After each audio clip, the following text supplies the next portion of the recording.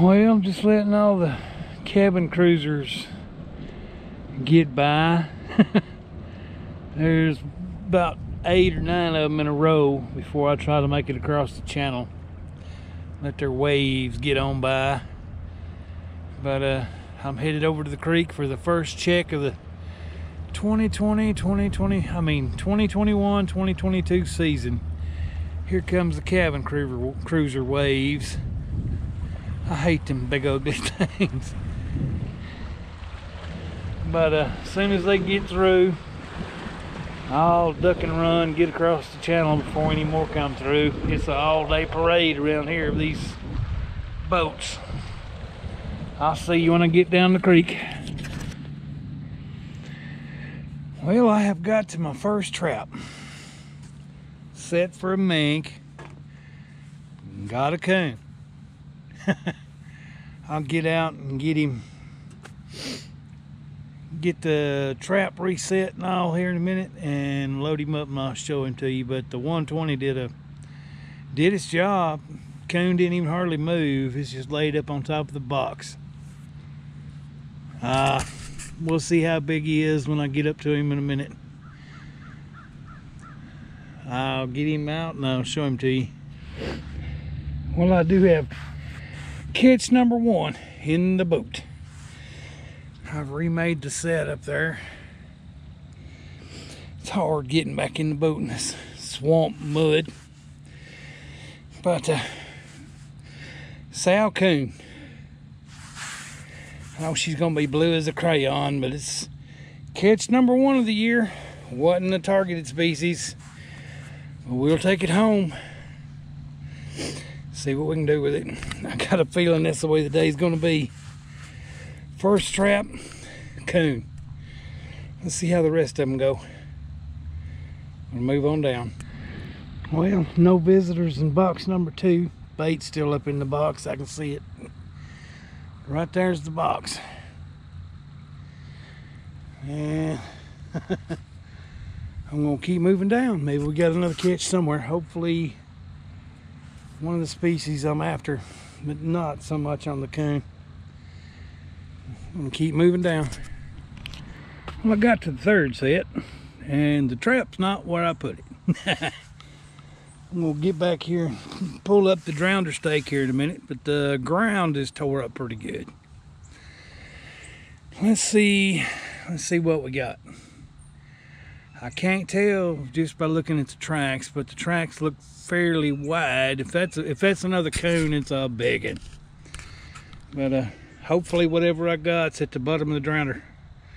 We'll find out in a minute. What we have is a toenail caught beaver and left the toenail in the trap.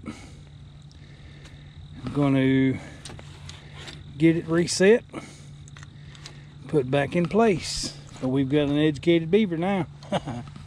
Pretty good sized toenail.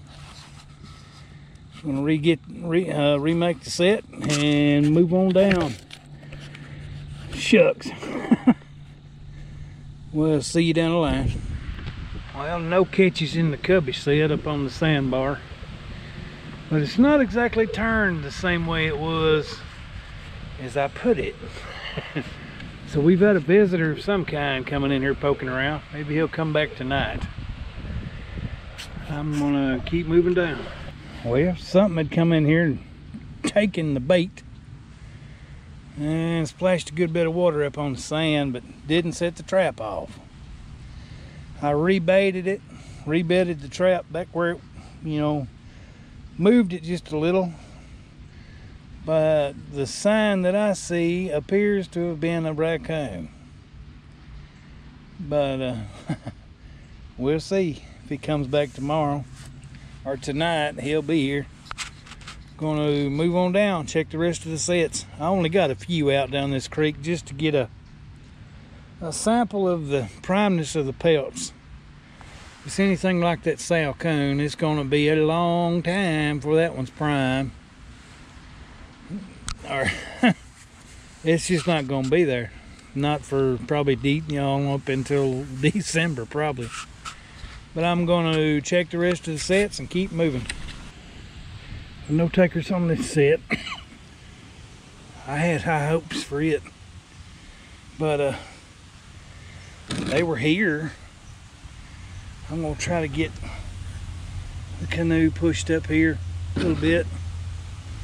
You can see what I see. They may not have, or they may climbed over. There's a lot of fresh white sand on the on the pipe. You can see footprints.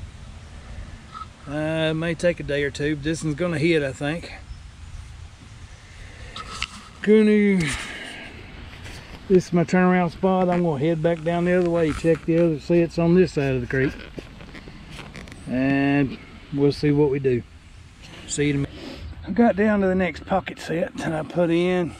That's the one that I beat that PVC pipe in where I had the Fresher Otter sign above me.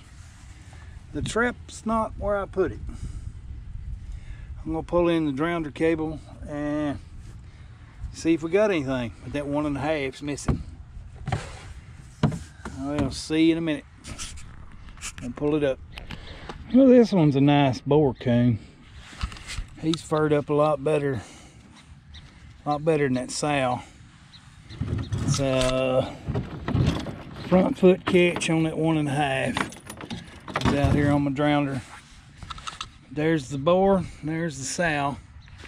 I'm gonna get him out of the trap, get it rebaited, reset, and move on down.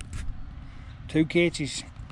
Had had catch number three pulled out on a toenail on a beaver, but I'll get this one reset and we'll keep going down.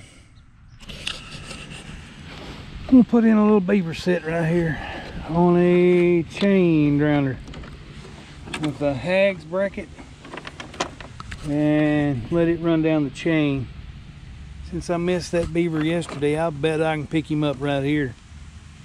With the way the wind's blowing this way out across the creek, and he's already started a castor mound right here.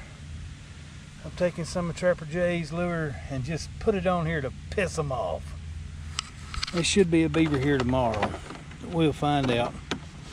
We'll run this stake out in the deep water and stake it off. We're gonna move on down. Well, nothing in the 220 set on the hot trail coming out. It'll stay here another day or two. Then I'll get the beaver gear ready to move up and have some real fun. I'm headed back to the boat ramp. That's the end of the day's fun. See you later.